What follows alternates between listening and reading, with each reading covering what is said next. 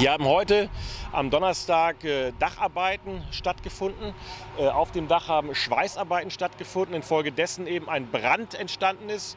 Zudem noch auf dem Dach ist eine Gasflasche explodiert, wodurch eine Person verletzt worden ist. Diese Person ist mit dem Notarzt-Rettungswagen auch abtransportiert worden zur weiteren stationären Behandlung im Krankenhaus.